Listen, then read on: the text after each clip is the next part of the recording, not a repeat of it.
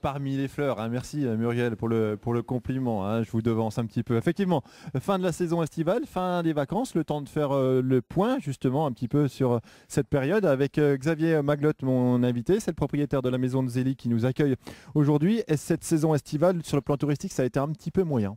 Oui, c'était un petit peu moyen, un petit peu moins bon que les autres années. Les explications, je pense, sont, multiples. hein. Le temps, la Coupe du Monde, la crise, bien sûr. Donc, euh, bon, ça ira mieux l'année prochaine. Alors pourtant, vous avez euh, une proposition de, de service, une prestation pour le moins euh, originale. Vous misez sur la convivialité et puis sur l'environnement, le respect de la nature. C'est un peu ça votre, votre credo? Oui, tout à fait. Notre credo, c'est vraiment d'abord euh, euh, l'accueil. Donc, euh, c'est vraiment la convivialité, c'est communiquer avec nos hôtes, c'est être à leur, à leur écoute, leur prodiguer le maximum de conseils.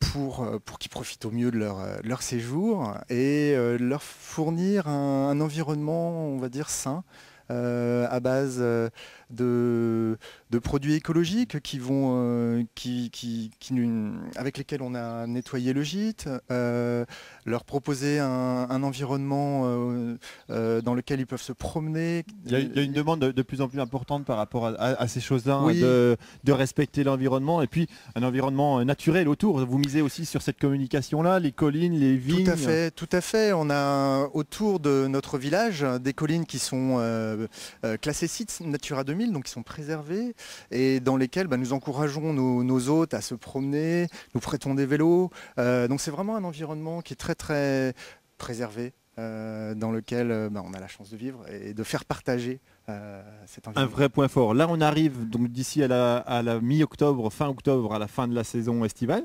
Comment vous faites pour que- continuer votre activité, pour continuer à attirer des, des gens en dehors de cette période-là? Alors, on, mise, euh, mise euh, sur les professionnels. Euh, donc là, avec cette, orientation-là, on travaille un petit peu notre site internet pour être bien référencé.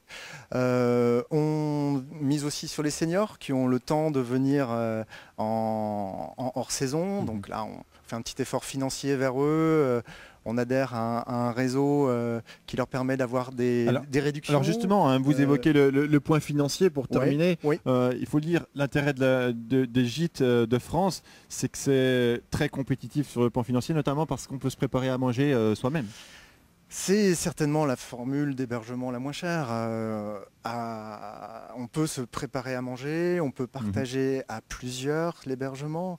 Donc forcément, c'est la formule la plus sympa. économique. oui. Merci beaucoup euh, Xavier. Voilà, on en reparle dans quelques instants avec un, un touriste qui a essayé cette formule et qui va nous dire ce qu'il en pense. Merci.